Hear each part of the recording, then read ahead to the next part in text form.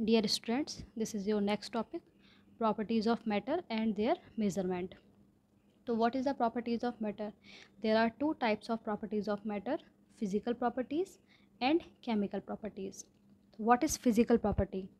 Physical properties of matter are those properties which can be measured without altering the composition and identity of the matter like order color melting point or boiling point तो if you if you observe the order तो you will simply observe the the order और simply observe the colour you will not go to change the their composition और their identity so these are the physical properties next is chemical property what is chemical property chemical property require a chemical change actually okay तो as you know that like in combustion reaction with acid chemical reaction takes place तो in combustion if we take combustion तो we can say that in combustion what what happens a compound in the presence of oxygen converted into a new species और a new product तो in in in the in the combustion what happens what is going on a chemical reaction is going on तो chemical properties are those properties which require a chemical change okay now what about their measurement? So properties are measured in significant figures. But uh, before explaining the significant figure let's focus on, uh, on an example.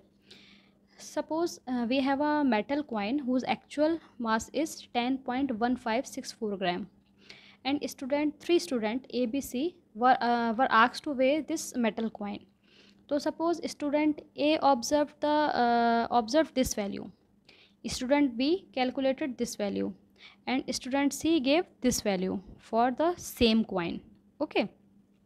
So after observing these values we can say that the value uh, that the value that the value given by student b 10.156 uh, uh, 1565 gram is more precise value than the student a. Why i am saying this? Because 10.1564 gram value is more closer to the actual value okay? Than the student a's value.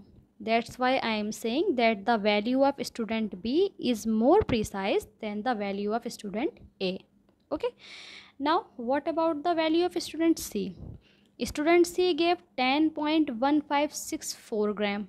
As you can say that these two values are same so the value given by the student c is actual value is accurate value and precise value okay? So after observing these uh, uh, this um, uh, example we can see that in any number in any number last digit is uncertain and the rest of digits are certain digits. So the total number of digit total number means number of certain digit or number of uncertain digit है ना? The total number of digit in a measured quantity is called the number of significant figures. For example in 21.5 centimeter if the value is given 21.5 centimeter so how many significant figures are there? There are three significant figures 215 centimeter. So this is the significant figure which is used to measure the properties of matter